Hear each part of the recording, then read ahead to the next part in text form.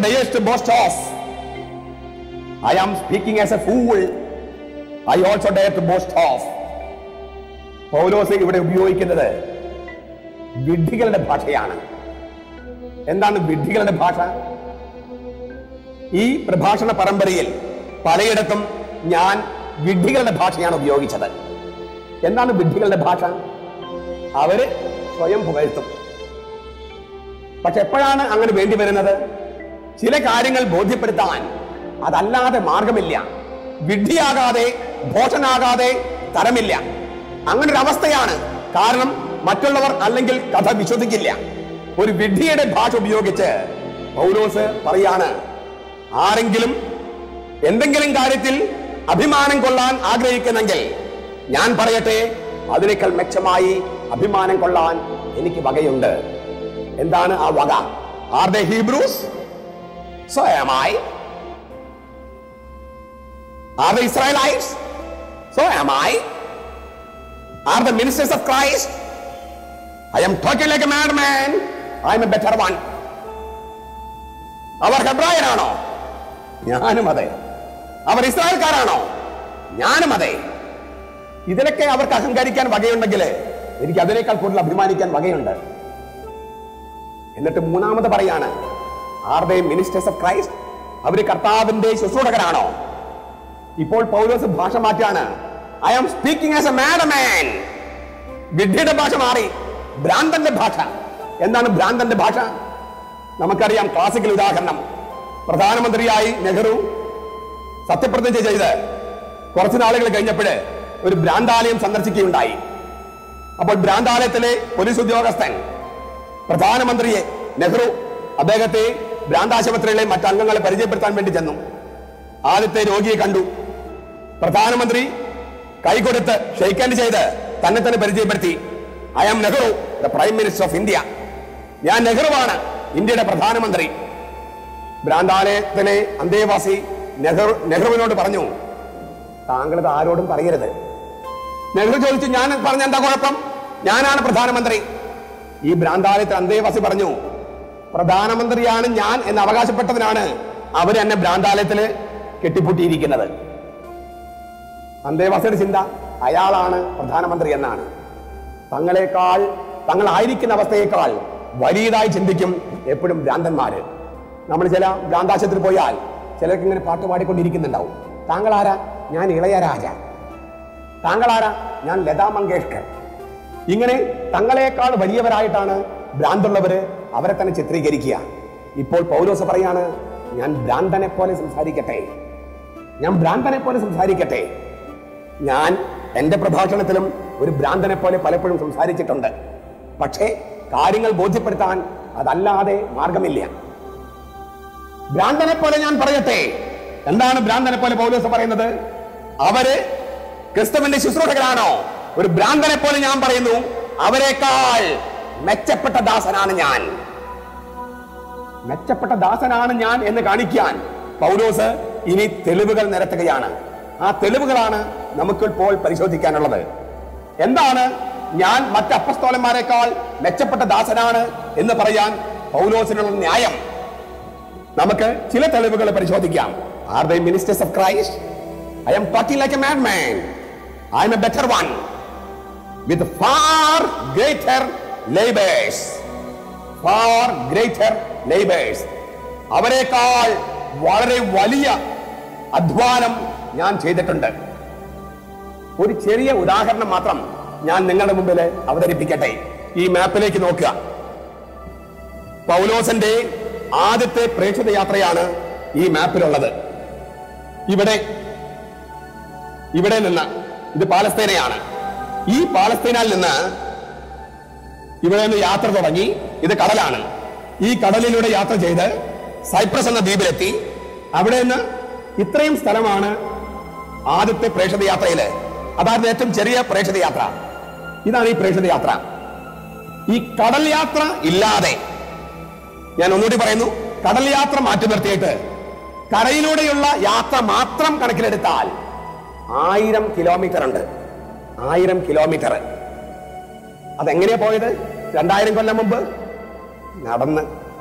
റോഡുണ്ടോ അന്ന്? താറുണ്ടോ അന്ന്? ഒന്നുമില്ല. ആയിരം കിലോമീറ്റർ ഉണ്ട് ആ ചെറിയ യാത്ര. നമുക്ക് രണ്ടാമത്തെ പ്രേക്ഷിത യാത്ര ഒന്ന് കാണാം. വീണ്ടും ഇവിടെ നിന്ന് ആരംഭിച്ച് ഇങ്ങനെ യാത്ര ചെയ്ത് ഇതാണ് ഈ ഗലാത്തിയ പ്രോവിൻസ് അതിലൂടെ പോയി പ്രൊവാസ് ഇങ്ങനെ പോയി. ഇതാണ് കോഴന്തോസ് തുടങ്ങിയ സ്ഥലങ്ങൾ ഇത് നമ്മൾ പരിഗണിക്കുമ്പോൾ ഞാൻ വീണ്ടും ആവർത്തിക്കുന്നു. കടൽ യാത്ര പരിഗണിക്കാതെ കരയിലൂടെയുള്ള നടപ്പ് മാത്രം കരുതിയാൽ മൂവായിരം കിലോമീറ്റർ എങ്കിലും അദ്ദേഹം നടന്നിട്ടുണ്ടാകും. ഞാൻ ആവർത്തിക്കുകയാണ്. എങ്കിലേ മനസ്സിൽ കയറും. അന്ന് രണ്ടായിരം കൊല്ലങ്ങൾക്ക് മുമ്പ് താരിട്ട റോഡില്ല. റോഡ് തന്നെയില്ല. മലകളും പൊടികളും താണ്ടി യാത്രയാണ് കാലുകൊണ്ടുള്ള നടന്നുകൊണ്ടുള്ള യാത്ര. ഇതാണ് രണ്ടാമത്തെ പ്രേക്ഷിത യാത്ര. നമുക്ക് മൂന്നാമത്തെ പ്രേക്ഷിത യാത്ര ഒന്ന് പരിചയപ്പെടാം. മൂന്നാമത്തെ പ്രേക്ഷിത യാത്ര ഈ യാത്ര ഇങ്ങനെ തുടങ്ങി ഇങ്ങനെ സഞ്ചരിച്ച് സഞ്ചരിച്ച് അവസാനം ജെറൂസലമിലേക്ക് എത്തുകയാണ്. ആ യാത്രയും ഈ രണ്ടാമത്തെ പ്രേക്ഷിത യാത്ര പോലെ തന്നെ അല്ലെങ്കിൽ അതിനേക്കാൾ ഏറെ ഒരു അയ്യായിരമോ അല്ലെങ്കിൽ അത്രയും കിലോമീറ്റർ എങ്കിലും സഞ്ചരിച്ചിട്ടുണ്ട്. ആവർത്തിക്കുന്നു കടൽ യാത്ര കൂടാതെ. കടൽ യാത്ര അത്ര തന്നെ കാണും. ഞാൻ കാലുകൊണ്ടുള്ള യാത്ര മാത്രമാണ് പരിഗണിക്കുന്നത്. അത് കഴിഞ്ഞ് നാലാമത്തെ യാത്ര നിലച്ചിരിക്കാതെ ഇതെല്ലാം ഈ യാത്രകൾ ആദ്യത്തെ മൂന്ന് യാത്രകൾ പൗലോസ് തന്നെ പ്ലാൻ ചെയ്തതാണ് ആസൂത്രണം ചെയ്തതാണ് എന്നാൽ നാലാമത്തെ യാത്ര ആ യാത്രയെക്കുറിച്ച് ഞാൻ അല്പം കഴിഞ്ഞ് പറയാം. പക്ഷെ ആ യാത്രയുടെ വഴി മാത്രം ഞാൻ ഞാനെന്ന് സൂചിപ്പിക്കുകയാണ്. ജെറൂസലമിൽ നിന്ന് കടലിലൂടെ യാത്ര ചെയ്ത് യാത്ര ചെയ്ത് യാത്ര ചെയ്ത് ഇതാ ഇവിടെ റോമായിലേക്ക് എത്തുന്നു ഈ യാത്ര ഞാൻ പറഞ്ഞല്ലോ ഈ യാത്രയെക്കുറിച്ചുള്ള വിശദാംശങ്ങൾ നമുക്ക് അല്പം കഴിഞ്ഞ് കാണാം. പക്ഷെ യാത്ര നോക്കൂ കടലിൽ കൂടിയുള്ള യാത്ര. അത് കഴിഞ്ഞ് റോമായിൽ രണ്ടു വർഷം കാരാഗ്രഹത്തിൽ അടയ്ക്കപ്പെട്ട് അവിടെ നിന്നും അദ്ദേഹം തടവറയിൽ നിന്നും മോചിക്കപ്പെട്ടു. എന്നിട്ട് നടത്തുന്ന യാത്രയാണ് അഞ്ചാമത്തെ പ്രേക്ഷിത യാത്ര. റോമായിൽ നിന്ന് സ്പെയിൻ വരെ പോയി. യൂറോപ്പിൽ സ്പെയിനിലേക്ക് പോയി അവിടെ നടത്തിയ യാത്രകളാണ് ഈ കാണിക്കുന്നതെല്ലാം. അവിടെ നിന്ന് പിന്നെയും യാത്ര ചെയ്ത് പിന്നെയും അറസ്റ്റ് ചെയ്യപ്പെട്ട് റോമായിലേക്ക് തിരിച്ചെത്തി. അവിടെ വെച്ച് കഴുത്ത് വെട്ടി കൊല്ലുകയാണ് പൗലോസിനെ. അവരെ ക്രിസ്തുവിന് ശുശ്രൂഷകരാണോ? ഞാനും അതെ. മെച്ചപ്പെട്ട തരത്തിൽ. എത്ര കിലോമീറ്റർ നടന്നിട്ടുണ്ടാകും പൗലോസ്? രണ്ടായിരം കൊല്ലം മുമ്പ് എനിക്ക് തോന്നുന്നു ഭൂമിയുടെ ചുറ്റും ഒരു പ്രാവശ്യം നമ്മൾ നടക്കുന്നതിനേക്കാൾ കൂടുതൽ പൗലോസ് നടന്നു കാണും. അത്രമാത്രം കഷ്ടപ്പെട്ടിട്ടുണ്ട് ഈ പൗലോസ്. അവർ ക്രിസ്തുവിന്റെ ദാസന്മാരാണോ? ഞാൻ അവരെക്കാൾ മെച്ചപ്പെട്ട ദാസനാണ്. ഒരു തെളിവ് വിത്ത് ഫാർ ഗ്രേറ്റർ ലേബേഴ്സ് രണ്ടാമത്തെ തെളിവ് അദ്ദേഹം ഹാജരാക്കുകയാണ്. വിത്ത് ഫാർ മോർ ഇംപ്രിസൺമെന്റ്സ് അവരെക്കാൾ കൂടുതൽ കാരാഗ്രഹത്തിൽ ഞാൻ കിടന്നിട്ടുണ്ട്. മൂന്ന് കാരാഗ്രഹവാസമെങ്കിലും നമുക്കറിയാം പൗലോസന്റേതായി. എഫ് എസൂസിൽ രണ്ടു വർഷത്തോളം എഫ് എസൂസിൽ ജയിലിൽ കിടന്നു. ഫിലിപ്പിയയിൽ ജയിലിൽ കിടന്നു. റോമായിൽ രണ്ടു വർഷത്തോളം കാരാഗ്രഹത്തിൽ കിടന്നു. ചുരുങ്ങിയത് ആറ് കൊല്ലമെങ്കിലും മൂന്ന് പ്രാവശ്യമായി ജയിലിൽ കിടന്നിട്ടുണ്ട് പൗലോസ്.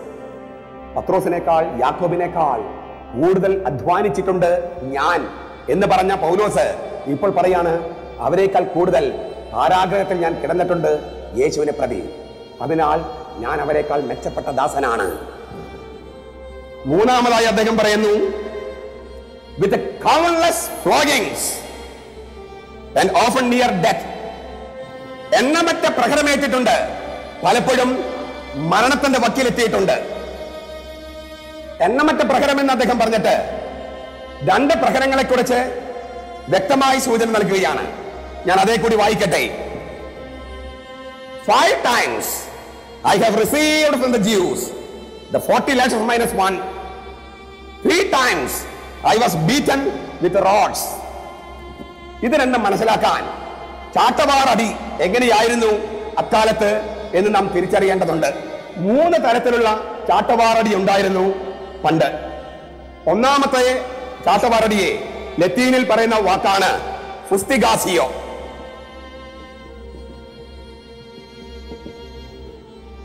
അതിനർത്ഥം ലാത്തി കൊണ്ടുള്ള അടി എന്നാണ്. വടി കൊണ്ടുള്ള അടി. അതാണ് പൗലോസ് പറയുന്നത് മൂന്ന് പ്രാവശ്യം. നാൽപ്പതിൽ ഒന്ന് കുറയെ. എന്ന് വെച്ചാൽ മുപ്പത്തൊമ്പത് പ്രാവശ്യം. ലാത്തി കൊണ്ട് ഞാൻ അടിക്കപ്പെട്ടിട്ടുണ്ട്. ലാത്തി വടി കൊണ്ട്.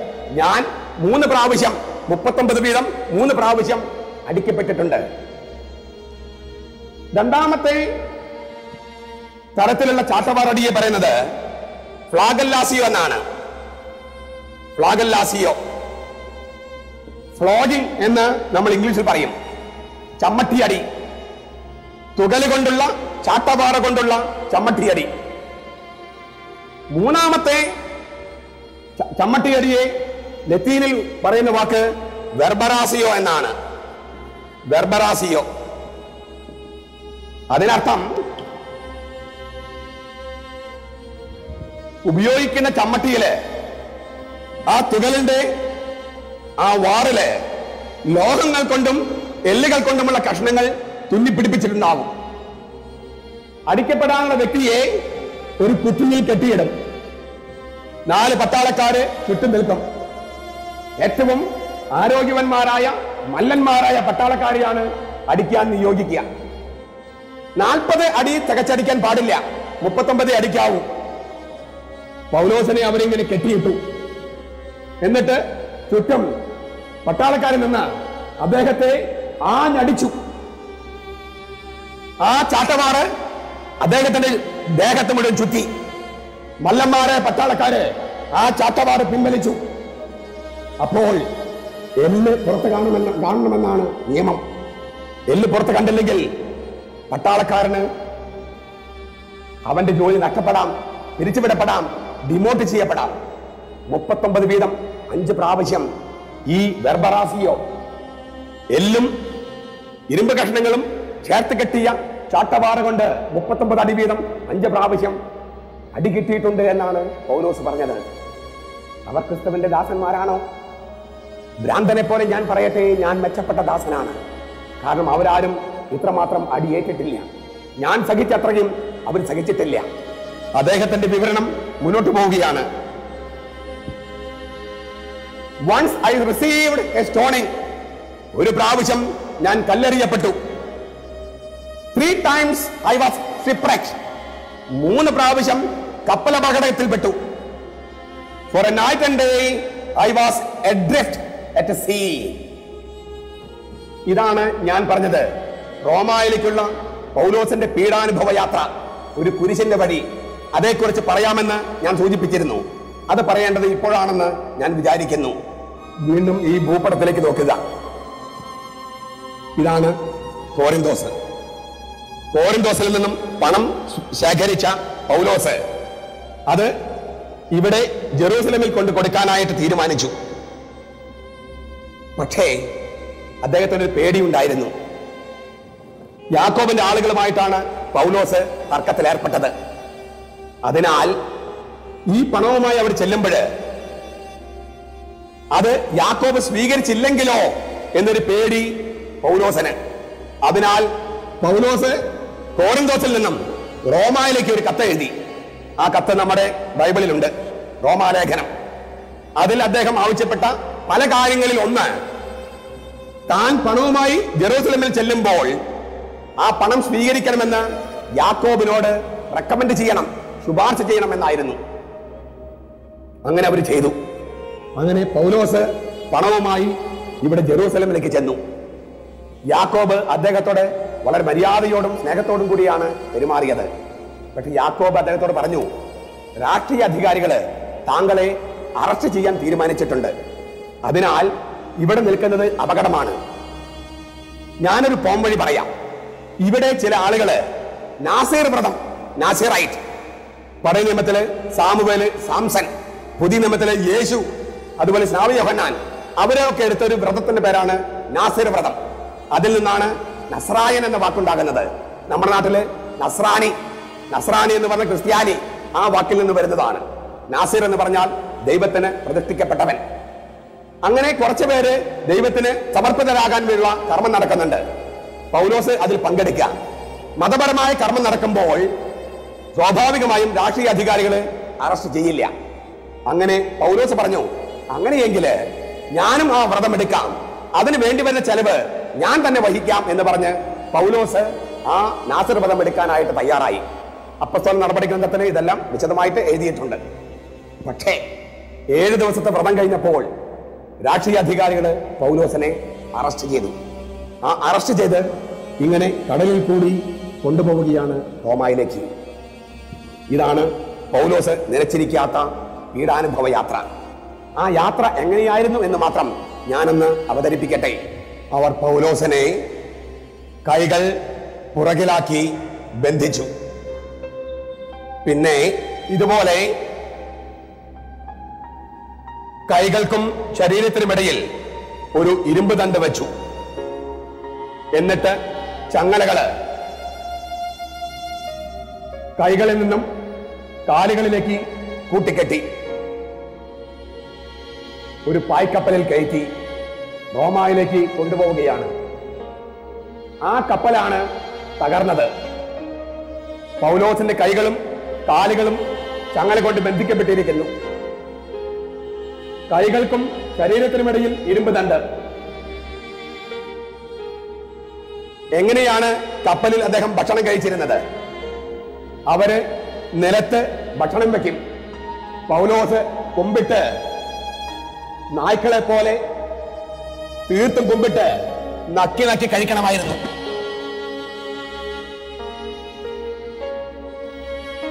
ആ കപ്പൽ അപകടത്തിൽപ്പെട്ടു. പൗലോസിന്റെ കൈകളും കാലുകളും സ്വതന്ത്രമല്ല. മറ്റെല്ലാവരുടെയും സ്വതന്ത്രമായിരുന്നു. എന്നിട്ടും ഒരു പലക കഷ്ണത്തിൽ അദ്ദേഹം ഈ ചങ്ങലുകളും ഇരുമ്പന്തണ്ടും എല്ലാം കൂട്ടിച്ചേർത്ത് എങ്ങനെയോ കടിച്ചു തൂങ്ങി കിടന്നു. ഒരു രാത്രിയും പകലും കടലിൽ ഞാൻ ഒഴുകി നടന്നു എന്ന് പൗലോസ് പറയുന്നത് ഇതുകൊണ്ടാണ്. I was at sea a day and night കടലിൽ ഏതാനും മണിക്കൂർ പോലും വേണ്ട. കിടന്നാൽ നമ്മൾ തണുത്തുറഞ്ഞ് മരിച്ചു പോകും.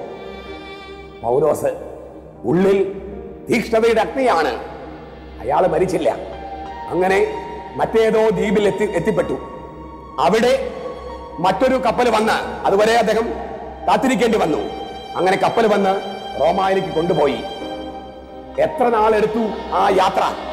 നമുക്ക് കൃത്യമായിട്ട് അറിയില്ല ഒരു വർഷത്തിലേറെ എടുത്തു എന്നാണ് നമ്മൾ മനസ്സിലാക്കുന്നത്. അതുവരെയും പൗലോസിന്റെ സ്ഥിതി നോക്കുക. കാലുകളിലും കൈകളിലും ചങ്ങലകളും ശരീരത്തിനും കൈകൾ കൈകൾക്കുമിടയിലും ഇരുമ്പ് ദണ്ഡം ഭക്ഷിക്കാൻ പട്ടിയെ പോലെ നിലത്ത് ഭക്ഷണം കൊടുത്ത് നക്കിത്തന്നെ അവസ്ഥയും. ഞാൻ പിതാവിന്റെ പക്കലേക്ക് പോകുന്നതിനാൽ ഞാൻ ചെയ്ത പ്രവൃത്തിയേക്കാളും വലിയ പ്രവൃത്തികൾ നിങ്ങൾ ചെയ്യും എന്ന് കർത്താവ് പറഞ്ഞത് പൗലോസിന്റെ കാര്യത്തിൽ സത്യമാവുകയായിരുന്നു എന്ന് വിചാരിക്കാനാണ് എനിക്കിഷ്ടം. ശാരീരികമായി നോക്കിയാൽ യേശു സഹിച്ചതിനേക്കാൾ പൗലോസ് സഹിച്ചിട്ടുണ്ട് എന്ന് വിചാരിക്കാനാണ് നമുക്ക് തോന്നുക. കണ്ണീരിലും രക്തത്തിലും ചാലിച്ച അദ്ദേഹത്തിന്റെ കത്ത് നാം തുടരുകയാണ്. ഓൺ ഫ്രീക്വന്റ് ജേണീസ് ഇടയ്ക്കിടെ വേണ്ടി വന്ന യാത്രകൾ ഇൻ ഡേഞ്ചർ ഫ്രം റിവേഴ്സ് നദികളിൽ വെച്ചുണ്ടായ അപകടങ്ങൾ ഡേഞ്ചർ ഫ്രം ബാങ്കറ്റ്സ് കവർച്ചക്കാരുടെ കയ്യിൽ നിന്നും ഉണ്ടായ അപകടങ്ങൾ danger from my own people എന്റെ സ്വന്തക്കാരായ മനുഷ്യരിൽ നിന്നുണ്ടായ അപകടങ്ങൾ ഡേഞ്ചർ ഫ്രം ജെൻഡായിൽസ് പുറജാതിക്കാരിൽ നിന്നുണ്ടായ അപകടങ്ങൾ ഡേഞ്ചർ ഇൻ ദ സിറ്റി നഗരത്തിൽ വെച്ച് അപകടങ്ങൾ ഡേഞ്ചർ ഇൻ ദ വിൽഡർനെസ് മരുഭൂമിയിലും വിജനപ്രദേശത്തുമുണ്ടായ അപകടങ്ങൾ ഡേഞ്ചർ അറ്റ് സി കടലിൽ വെച്ചുണ്ടായ അപകടങ്ങൾ danger from false brothers and sisters വ്യാജ സഹോദരന്മാരും സഹോദരിമാരിൽ നിന്നുണ്ടായ അപകടങ്ങൾ. കഠിനാധ്വാനത്തിലും ദുരിതങ്ങളിലും ത്രൂ മെനി സ്ലീപ്ലെസ് നൈറ്റ് ഉറക്കം കിട്ടാത്ത രാവുകൾ. ഹംഗ്രി ആൻഡ് തേഴ്സ്റ്റി വിശപ്പിലും ദാഹത്തിലും. ഓഫൺ വിത്തൗട്ട് ഫുഡ് മിക്ക ദിവസങ്ങളിലും ഭക്ഷണമില്ല.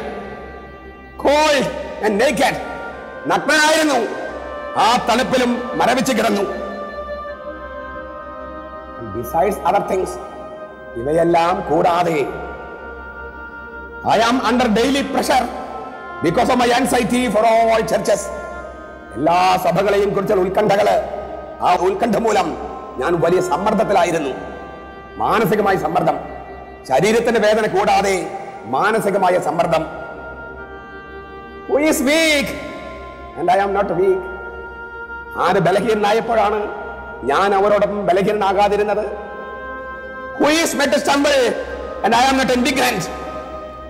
ആര് കാൽത്തട്ട് വീണപ്പോഴാണ് എനിക്ക് അമർഷം തോന്നാതിരുന്നത്?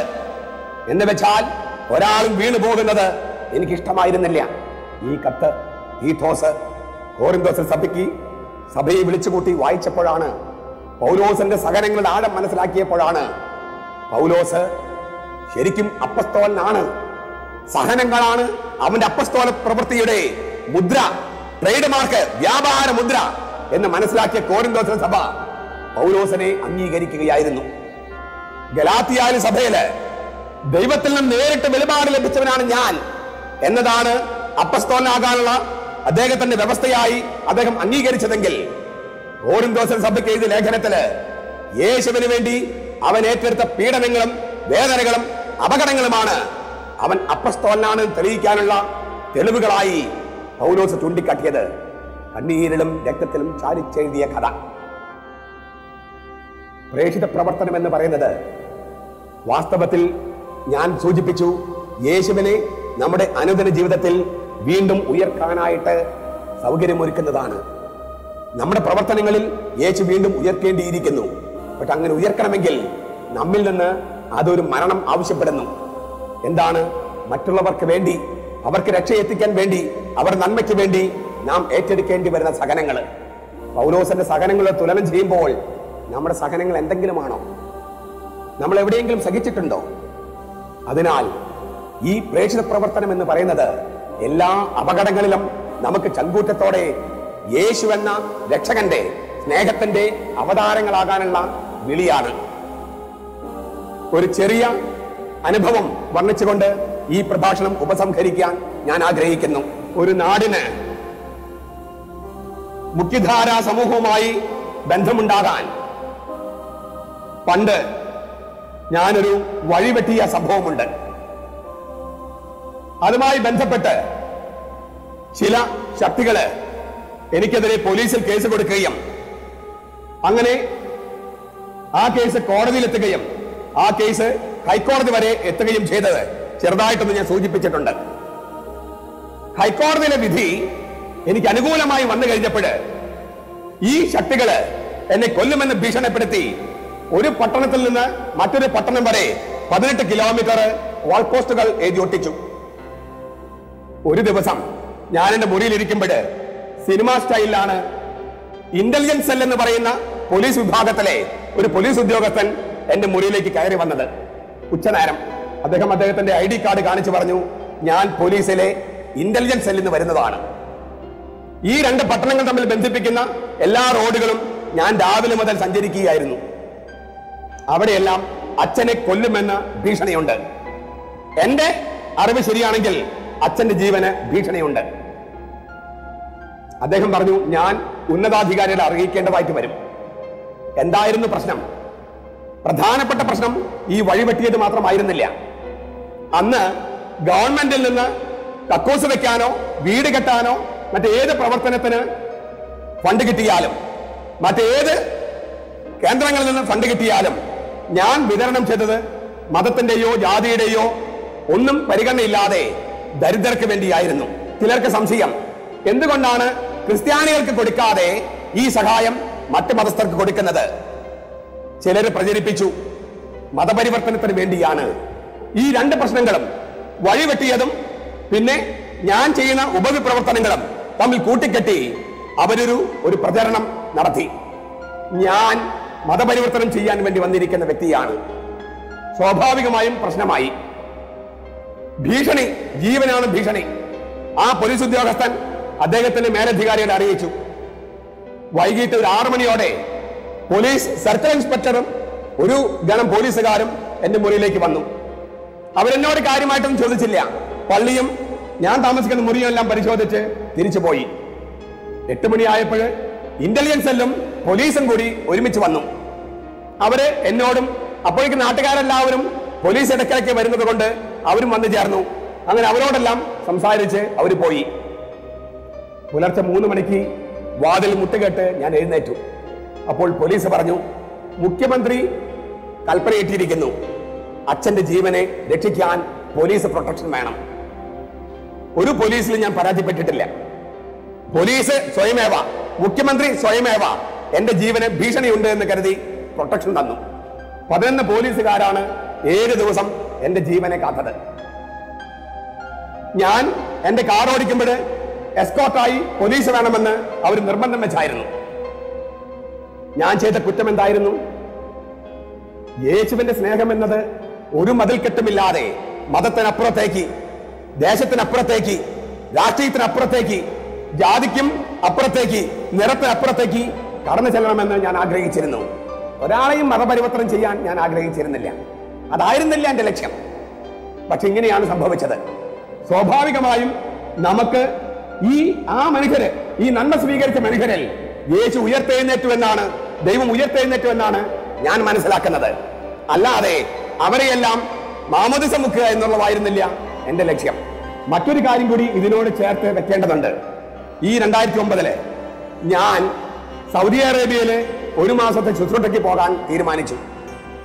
നിങ്ങൾക്ക് പലർക്കും അറിയാവുന്നത് പോലെ സൗദി അറേബ്യയിൽ അച്ഛന്മാർക്ക് അച്ഛന്മാരായി പോകാൻ അനുവാദമില്ല. ഒരു കള്ള വിസയിൽ പോകേണ്ടി വരും.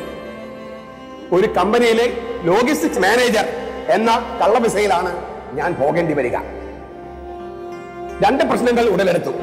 ഒന്ന് എയർപോർട്ടിൽ വെച്ച് എന്നെ തിരിച്ചറിയുകയും അറസ്റ്റ് ചെയ്യുകയും ചെയ്താലോ എന്ന് ഒരു സംശയം. രണ്ടാമത്തെ ഒരു പ്രശ്നം ഞാൻ എന്റെ കഴുത്തിൽ എപ്പോഴും ധരിക്കുന്ന ഒരു കൊന്തയുണ്ട്.